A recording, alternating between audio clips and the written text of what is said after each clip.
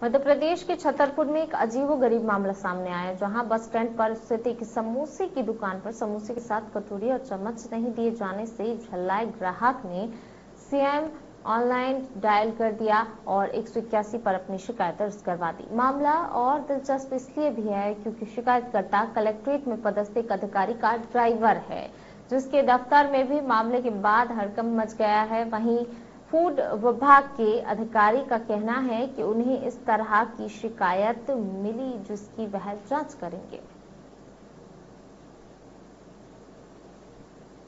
शिकायत तो यह है कि शायद वो कुछ जो समोसे पैक करा के ले जाता है उसको शायद कंटेनर नहीं देता धोने वाले का नहीं देता हम्म। ऐसा कुछ मामला। कैसे कैसी शिकायत थी उसकी?